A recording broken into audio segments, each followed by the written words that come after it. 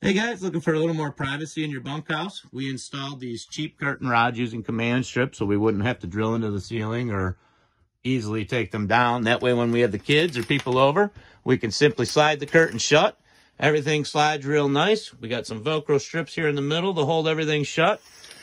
Travels down the road great. Guys, it's a really nice, easy, simple solution, cheap solution to a little bit more privacy in your bunkhouse.